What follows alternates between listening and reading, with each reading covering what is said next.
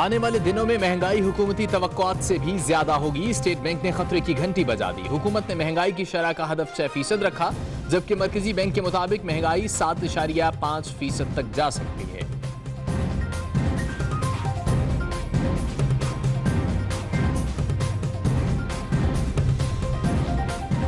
پاکستان میں غیر ملکی سرمایہ کاری تریسٹھ فیصد کم ہو گئی۔ مالی سال کی پہلی سہ ماہی میں نئی بیرونی سرمایہ کاری کا حجم پچیس کروڑ بیالیس لاکھ ڈالرز رہا۔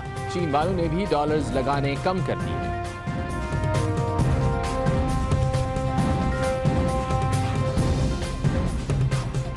ڈرائیونگ لائسنس کے بغیر موٹر سائیکل اور گاڑی کی رجسٹریشن پر پابندی۔ رجسٹریشن صرف اسی شخص کے نام سے کی جائے گی جس کے پاس ڈرائیونگ لائسنس ہو۔ لاہور ہائی کورٹ کا بڑا فیصلہ۔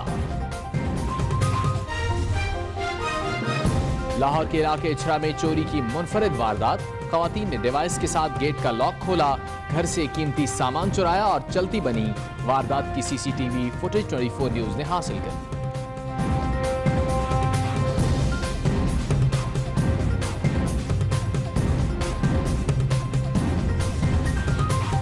میڈ ان پاکستان پاکستانی مصنوعات کے فروغ کے لیے 24 نیوز کی ملک گیر مہم، روپے کی قدر بڑھانی ہے تو ملکی مصنوعات کی خریداری اپنانی ہے۔ غیر ملکی مصنوعات سے انکار اصل میں ہے میڈ ان پاکستان کا اظہار۔ ولایتی اشیاء کی بجائے مقامی اشیاء کو اپنائیں۔ سماجی مرتبے کی علامت یہی ہے۔ وطن سے حقیقی پیار، ہر چیز کے لیے بولیں میڈ ان پاکستان۔